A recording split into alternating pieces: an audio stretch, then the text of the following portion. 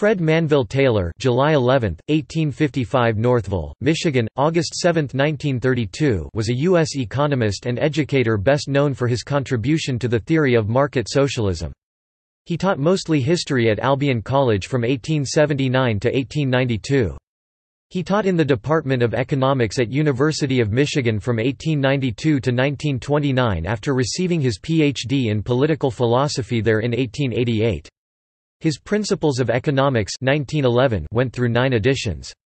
Of a libertarian ideology, he was noted as a clear and rigorous expositor of economic theory in the partial equilibrium lineage of Alfred Marshall. In his American Economic Association presidential address, Taylor 1929 laid out the conditions under which a socialist economy could in theory achieve an efficient allocation of resources.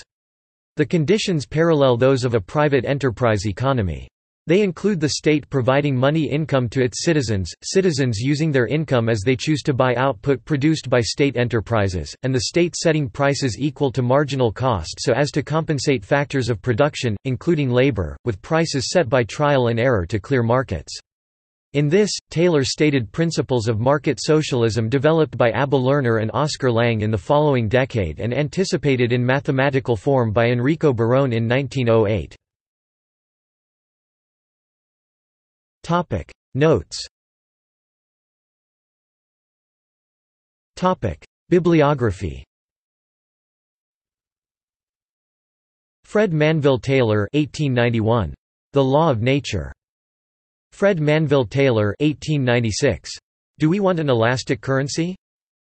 Fred Manville Taylor 1907 some Readings in Economics, prepared for the use of students in Course I, Political Economy, University of Michigan.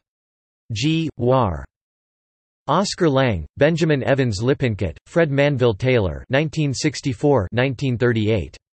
On the Economic Theory of Socialism. McGraw-Hill. External links Fred M. Taylor at Find a Grave. Fred M. Taylor. JSTOR